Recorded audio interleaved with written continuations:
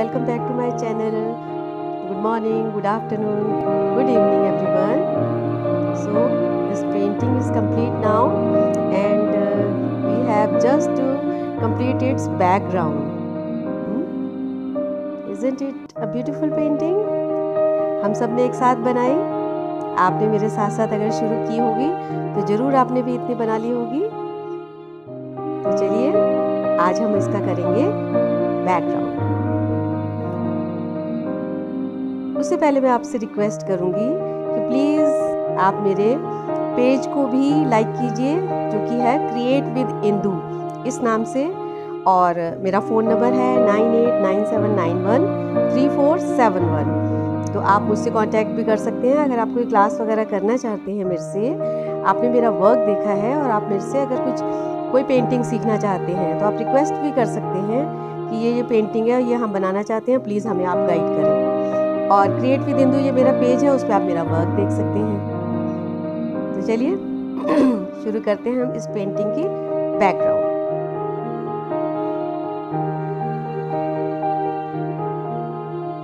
Art में कोई भी ऐसा कोई पक्का रूल नहीं होता है कि हमें बैकग्राउंड पहले करना है या कि मेन फिगर पहले बनाना है। तो ये अपने पे डिपेंड करता है, चाहे आप पहले मेन फिगर बनाएँ और चाहे बैकग्राउंड करें।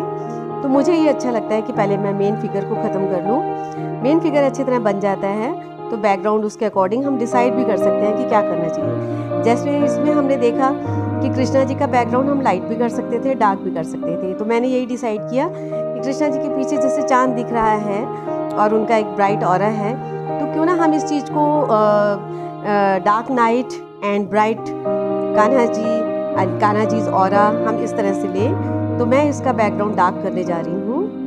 पर उससे पहले मैं इसमें कान्हा जी के जो और दिख रहा है, उसके आसपास थोड़ा सा लाइट बैकग्राउंड दूँगी और बाकी फिगर के आसपास मैं दूँगी डार्क बैकग्राउंड तो चलिए हम धीरे धीरे इसको डेवलप करते हैं।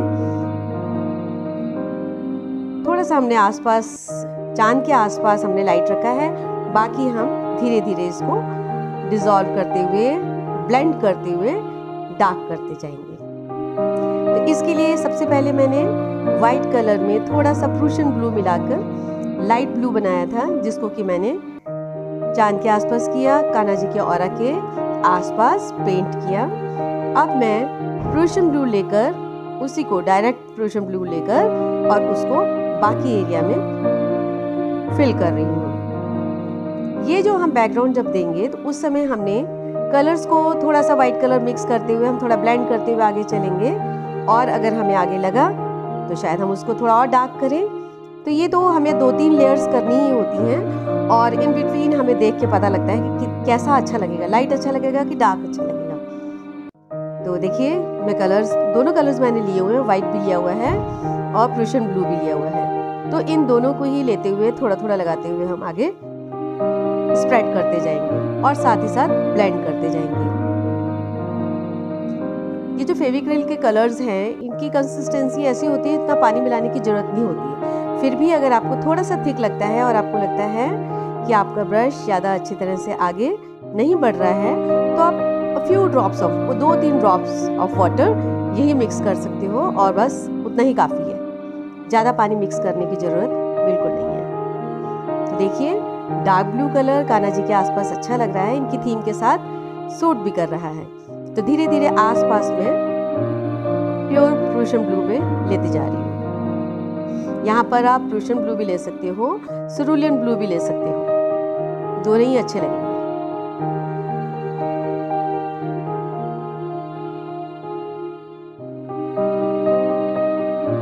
यहाँ मैं फ्लैट ब्रश यूज़ कर रही हूँ। तो फ्लैश ब्रश को जब यूज़ करते हैं तो उसमें चांसेस होते हैं कि आपके फिगर के ऊपर कहीं कलर ना चला जाए। तो जहाँ भी आपको लगे कि आपके फिगर के पास ब्रश टच हो सकता है तो वहाँ पर आप थोड़ा छोटे साइज़ का ब्रश लेकर और उससे भी कलर कर सकते हैं। और, कुछ छोटी मोटी जो चीज़ें, जैसे इसमें कान्हा जी की कलगी बाहर निकली हुई थी तो उसको मैंने कवर ही कर दिया, कोई बात नहीं एक्रेलिक कलर में एक कलर के ऊपर दूसरा कलर आराम से हो जाता है। जब ये बेस ड्राई हो जाएगा उस समय में जो भी लाइट कलर मैंने कलगी में करना है डॉट्स से हमने उनकी कलगी में मोती लगाने हैं जो भी काम करना है वो हम उसको बाद में भी कर सकते हैं। इसलिए मैंने कलगी को अब कलर के अंदर ही मर्ज कर दिया है। तो वो हम बाद में उसको कर लेंगे। अपने जो हमने रेफरेंस पिक रखी हुई है ना उसको देखते हुए हम उस कल, कलगी को जो उसका उनका जो हेड गियर है पगड़ी के ऊपर जो उनके जो ऑर्नामेंट्स हैं उनको बना लेंगे।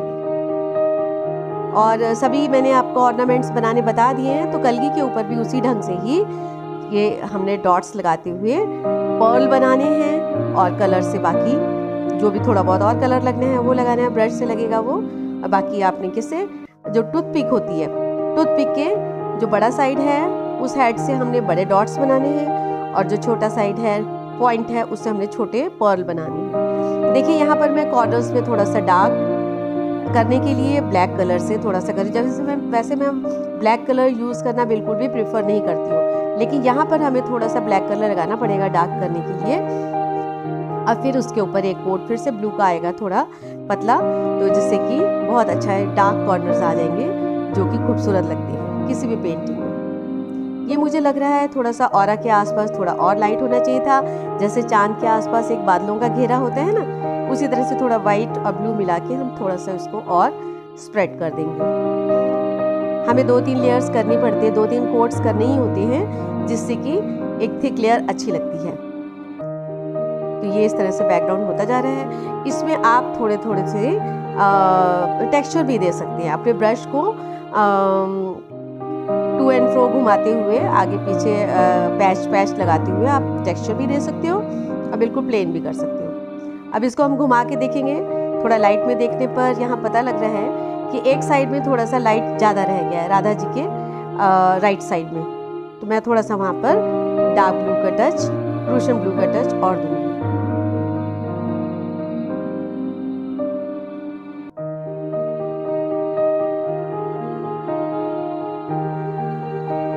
इस तरह से। अगर कहीं पर भी आपको डिसबैलेंस लगता है कि कलर पूरी तरह से ठीक से नहीं आया है जैसे कि ये और के आसपास की गोलाई ठीक से आनी चाहिए।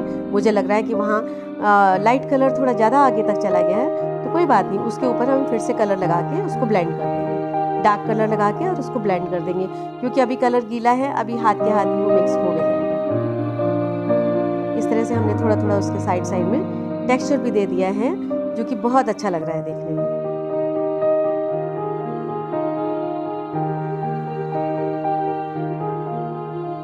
और इस तरह से एक बहुत खूबसूरत राधा कृष्णा की पेंटिंग तैयार हुई है। इसमें अभी हेड गियर्स में जो पगड़ी के ऊपर जो थोड़े ऑर्नामेंट है उनको मेरे को फाइनल करना है। आ, वो अभी रह गया है। इसमें इस पेंटिंग में काम बहुत था इसीलिए टाइम भी बहुत लगा। तो ये आप लोग को चाहिए कि इस काम को धीरे धीरे करते जाएँ। जैसे जैसे डेवलप करते जाएँगे आपको खुद ही दिखेगा कि कितना खूबसूरत उठ के आ रहेंगे जैसे जैसे मैंने आपको स्टेप्स बताए हैं आप उस तरह से करते जाएँगे। तो ये पेंटिंग भी, आपकी भी पेंटिंग ऐसे ही अच्छी बनेगी। अब कहीं कहीं साइड साइड में अगर छूट गया है तो अपना वही एक फाइन ब्रश लेके और उससे उन कलर्स को, जहाँ जहाँ छूट गए उनको पूरा कर दीजिए। कहीं कहीं थोड़ी जगह खाली रह गई है, जहाँ पर कि ब्लू कलर आना चाहिए था, उस जगह पर भी हम ब्लू कलर लगा देंगे। जो बैक साइड जो उनके बाहाँ के और कमर के बीच में दिखाई दे रहा है, या फिर कहीं किनारों पे थोड़ा थोड़ा छूट गया है तो वो फिनिशिंग टचेस देने के बाद हमारी पूरी हो जाएगी। और आपसे रिक्वेस्ट है प्लीज़ मेरे चैनल को सब्सक्राइब ज़रूर कीजिएगा और उसको लाइक भी कीजिएगा। लाइक के बटन के ऊपर एक अपना प्रेस कीजिएगा लाइक बटन को और इसको अपने फ्रेंड्स और फैमिली के साथ शेयर भी ज़रूर कीजिएगा ताकि ज़्यादा से ज़्यादा लोग इसको देखें और मुझे भी मोटिवेशन मिले। जितने ज़्यादा लाइक्स मिलेंगे, जितने ज़्यादा सब्सक्राइबर्स होंगे, उतनी दूर तक मेरे वीडियोस पहुँचेंगे और सभी को फ़ायदा होगा। तो प्लीज़ प्लीज़ मुझको मोटिवेट करने के लिए मेरे चैनल को सब्सक्राइब कीजिए और नोटिफिकेशन बेल को भी ज़रूर दबाइए ताकि नए नए वीडियोस के नोटिफिकेशन आपको टाइम से मिलते रहें।